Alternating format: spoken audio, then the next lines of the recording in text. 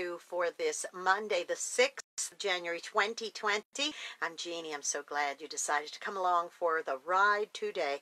Well, you could see by the clothing behind me, I'm back at Living Hope, and I'm here helping dress some folks today uh, here at the ministry. It's always a pleasure and a joy to be able to come here and do this and help serve our community. Now, I want to talk to you for just a moment about God moments. Now, uh, yesterday when we were at church, a pastor, Lyle Peluso, got at Dothan Vineyard church, he got up and he was sharing a little bit.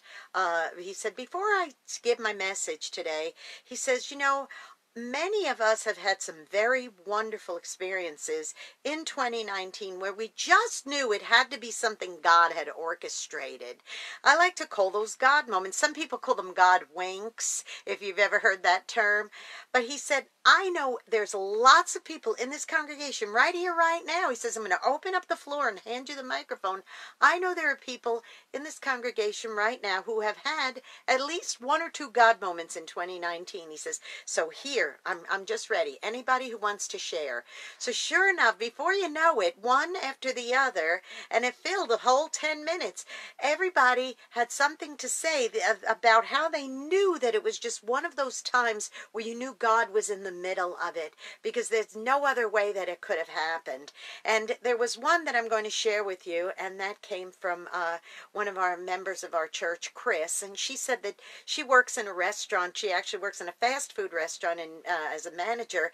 And she said she was up at her register, and this older gentleman came to the cash register, and he uh, he just started ordering his meal. And she said, "My goodness, this man looks so familiar."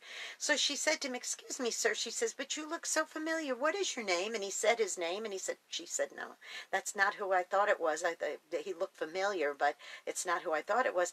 And then the next thing that came out of his mouth was, "My wife died three weeks ago." Just out of nowhere, he said this to her. And she said, My goodness. She said she just was stunned because she didn't know what she was supposed to say in response to that. So she said, Well, you know, when I was a younger woman, I was widowed very young and uh, my husband died, but now I'm remarried all these years later. She said, So I understand. So she had an opportunity to share her heart with him and to be an encouragement to him. And to, I believe she even prayed with him. And it was just such an encouragement. And she said, You know, when she walked away from there, she was all teary. And she said, And I realized the only way this could have happened out of all the people in the restaurant, it was that I took the cash register at that exact moment. And this one man came to my register and he opened up his heart. Now, what if he had just suddenly said that to maybe one of the teenagers working there or something? They may have not known how to respond to a thing like that. And so it was Chris's turn to uh, to be able to encourage him.